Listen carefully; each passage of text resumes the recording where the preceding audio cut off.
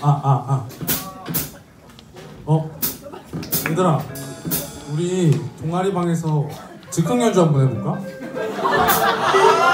좋지?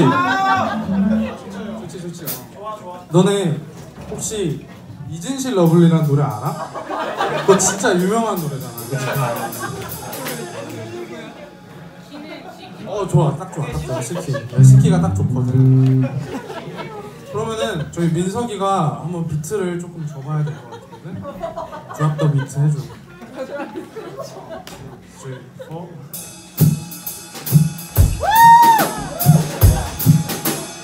one, two, three, four. 느낌 좋아. 느낌 좋아